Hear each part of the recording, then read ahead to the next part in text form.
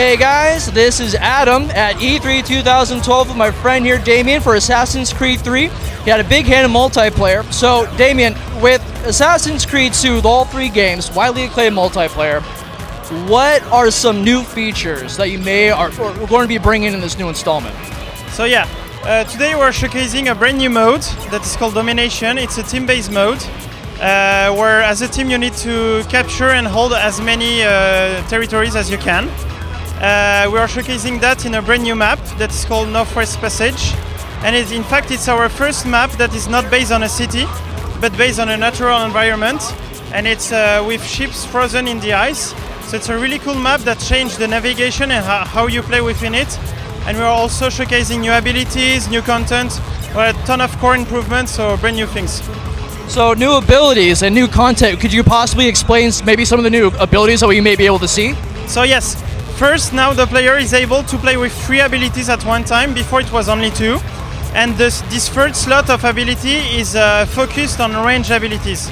So it's really key for us to give a tool to the player to interact with the other player that are at a range distance. Uh, and within those, we showcase the poison dart, so you can poison player within distance. Uh, we showcase also the disruption ability, who mess up the screen of the player. And uh, we have glimmer, so it's kind of uh, invisibility and uh, we show also shield ability. And shield is uh, it makes you invisible in fact against all the other abilities. So it's really useful against smoke bomb and other very uh, powerful abilities. Very cool. Now you also mentioned your first uh, outdoor uh, or wildlife yeah, map. yeah so are we to, to expect more of those maps maybe in a mix of city and outdoor? Yeah, yeah, of course. Uh, I can't tell you anything about the other maps. We'll uh, disclose them uh, later on this summer. But what I can tell you is that because we have this new setting of uh, the American Revolution, we really can play with it and do really varied maps. And we're really going uh, full on that. And we'll have a ton of new maps that are really different, natural environment, city base and uh, location that maybe you will see in single player and things like that.